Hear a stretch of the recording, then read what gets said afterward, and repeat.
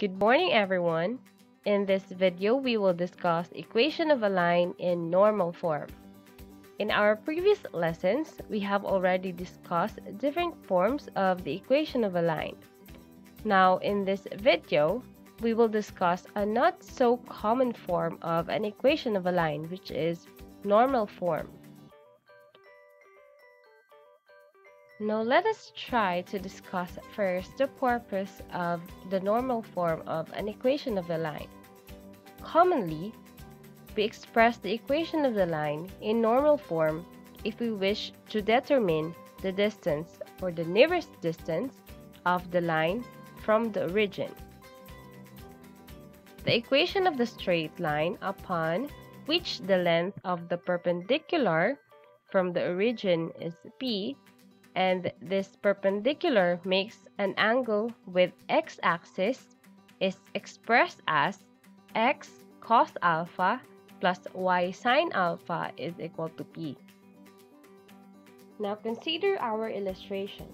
So we have here our given line, which is line L, and if we wish to get the nearest distance of this line to our origin, we have to drop a perpendicular line from the origin to the line and let this angle be alpha which denotes the angle of inclination going to the perpendicular line. So it's from the positive x-axis going to our perpendicular line and let its length be denoted by p. Now we shall consider this segment as directed the value of p is positive if our y-intercept is positive. On the other hand, the value of p is negative if our y-intercept is negative. Now let us discuss how to express an equation of the line into its normal form. Given the general form of the equation of the line ax plus by plus c is equal to 0, we will develop a method for putting the first equation, ax plus by plus c is equal to 0, into its normal form which is x cos alpha plus y sine alpha is equal to p. In this problem, we will consider two cases. Case 1 and case 2. For case 1, if b is equal to 0, in our general form of the equation of the line, the normal form is obtained by immediately solving for x. And that is, if you have ax plus c is equal to 0, solving for x, we will have x is equal to negative c over a. And for the second case, if b is not equal to 0, in our first equation or in the general equation of an equation of a line, to reduce the general equation of the line into its normal form, we divide through by positive negative square root of a squared plus b squared using the sign of b in front of the square root but transfer the constant term to the other side of the equation. So basically, we will just be dividing every term with a value of positive negative square root of a squared plus b squared. So let us have our normal form, which is written as ax over positive negative square root of a squared plus b squared plus by over positive negative square root of a squared plus b squared is equal to c over positive negative square root of a squared plus b squared. Now let's have the first example. So in the first example, we are asked to reduce the equation 2x minus 4 is equal to 0 into its normal form. Find its perpendicular distance from the origin. So we know that this type of equation will be under case 1 since we don't have a value for b. So basically, we'll just be solving for x. So we have here 2x minus 4 is equal to 0. Next is we transpose negative 4 on the other side, making it positive 4. Next is dividing both sides by 2. We'll get x is equal to 2. Now, if we are going to graph this equation x is equal to 2 on our Cartesian plane, we will have this line. If you can observe, the distance of the line from the origin can be easily determined, which is 2 units, which is also represented by our equation. x is equal to 2. Now let's have the second example. For the second example, we are asked to reduce x minus square root of 3y plus 8 is equal to 0 into its normal form. Find its perpendicular distance from the origin and the angle between the perpendicular and the positive x-axis. So first of all is we have to graph our equation of the line. Now, one of the quickest way to graph an equation of the line is finding its intercepts. So first is we'll look for its x-intercept where it will pass through the x-axis. And we know that for x-intercepts, the value of y will always be 0.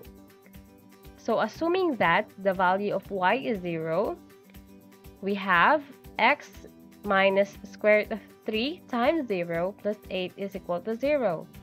Multiplying square root of 3 times 0, we got 0. So that is x plus 8 is equal to 0. Transposing 8, and we got x is equal to negative 8. Next is we solve for the y-intercept. So for y-intercept, we assume that x is equal to 0. So substituting this value in our equation, we'll have 0 minus square root of 3y plus 8 is equal to 0. Now, transposing 8 on the right side, we'll have square root of 3y is equal to negative 8. Next is dividing both sides by square root of 3. So we'll have y is equal to negative 8 over square root of 3 or that's approximately negative 4.62. So now, let's try to graph our line. So that is this line. So we have first our x-intercept, which is negative 8. Next is we have our y-intercept, which is negative 4.62. So in this line, basically what we are asked to do is to get the normal form of the equation of the line. Next is to look for the perpendicular distance from the origin going to the line. And lastly is to look for the angle from the positive x-axis going to our perpendicular. Now let's proceed with our solution. So to reduce x minus square root of 3y plus 8 is equal to 0 into its normal form, we have to follow the following steps. First is we have to solve for the value of positive negative square root of a squared plus b squared. Next is to transform the equation into standard form, then dividing every term of our equation by the value of positive negative square root of a squared plus b squared. Next is to reduce the equation into its normal form. And when you have the equation into its normal form, you have to determine the value of p cos alpha and sine alpha. Next is we will solve for the value of alpha. So let's start. So first is we have to identify the value of a and b. So a is positive 1, b is negative square root of 3. So we will use this to get the value of positive negative square root of a squared plus b squared. So substituting these values will have negative because the sign of b is negative square root of 1 squared plus negative square root of 3 squared. Next is to simplify the values inside our radical sign. So we'll have negative square root of 1 plus 3. Adding 1 and 3 will have square root of 4 getting the value of square root of 4 will have negative 2. So therefore, the value of positive negative square root of a squared plus b squared is negative 2. Next is we will transform our given equation into standard form. So we'll have it as x minus square root of 3y is equal to negative 8. Next is we have to divide every term of the equation by the value of positive negative square root of a squared plus b squared, which is negative 2. So we have it as x over negative 2 minus square root of 3y over negative 2 is equal to negative 8 over negative 2. Simplifying it further, we'll have negative x over 2 plus square root of 3y over 2 is equal to 4. And this is now the normal form of the equation x minus square root of 3y plus 8 is equal to 0. Now, from these equations, we can extract the values. p is equal to 4. That means the distance of the line to the origin is 4 units. And we also have cos alpha, coefficient of x, so you have negative 1 half. And for sine alpha, we have square root of 3 over 2.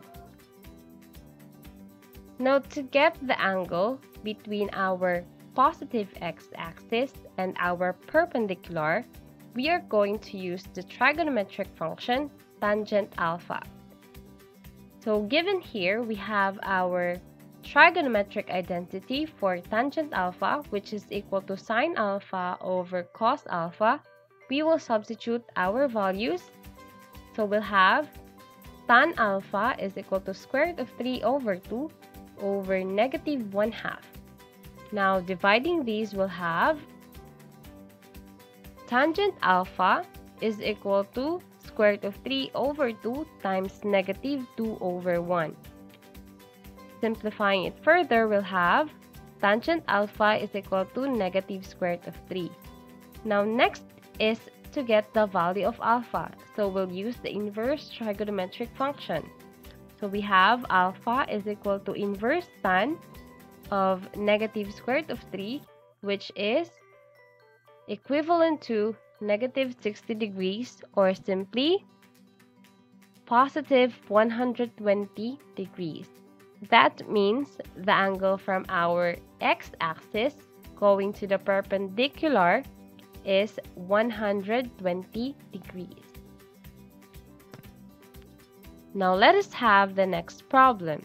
So on the next problem, we have reduce 4x plus 3y minus 10 is equal to 0 into its normal form. Find its perpendicular distance from the origin and the angle between the perpendicular and the positive x-axis. So we will do the same steps since this problem is under case 2. So let's start. So first is we have to graph 4x plus 3y minus 10 is equal to 0. So first, looking for the x-intercept, assume that y is equal to 0. So we'll have 4x plus 3y minus 10 is equal to 0. And that becomes 4x plus 3 times 0 minus 10 is equal to 0. And this simplifies to 4x minus 10 is equal to 0. And transposing negative 10 on the right side of the equation, that becomes 4x is equal to 10 Dividing both by 4 will have x is equal to 5 over 2 or simply 2.5. Now on the other hand, we also have our y-intercept. Now let's assume that x is equal to 0. So that becomes 4 times 0 plus 3y minus 10 is equal to 0.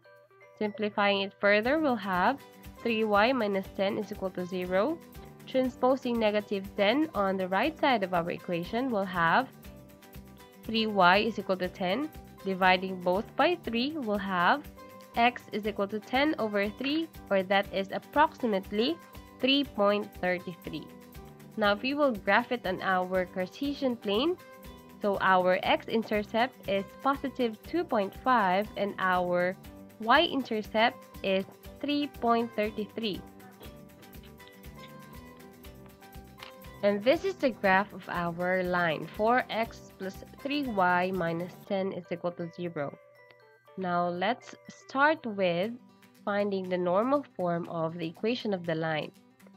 So we have a is equal to 4, b is equal to positive 3. So first is we will look for the value of positive negative square root of a squared plus b squared. So substituting these values will have square root of 4 squared plus 3 squared. Simplifying the values inside our radicand will have square root of 16 plus 9 and that sums up to 25. Getting square root of 25 will have 5. Next is we have to transform our equation 4x plus 3y minus 10 is equal to 0 into standard form. So from the general form 4x plus 3y minus 10 is equal to 0, we'll have it as 4x plus 3y is equal to 10. Next is dividing each of these term by 5. So we'll have 4x over 5 plus 3y over 5 is equal to 10 over 5. And this simplifies to 4x over 5 plus 3y over 5 is equal to 2. And this is now the normal form of the equation of the line. Next is we'll extract the values of p, cos alpha, and sine alpha. P is equal to 2 cos alpha is equal to 4 over 5 and sine alpha is equal to 3 over 5. Now we have here p is equal to 2. That means our line is at 2 units distance from our origin. Now getting the value of alpha or the angle between the x-axis and our perpendicular so we'll have tan alpha is equal to sine alpha over cos alpha. Substituting these values, we'll have tan alpha is equal to 4 over 5 over 3 over 5. And that simplifies to 4 over 5 times 5 or over 3, which is equivalent to 4 thirds. Now getting the value of alpha, we'll use inverse tan of 4 thirds, and that's equal to 53.13 degree.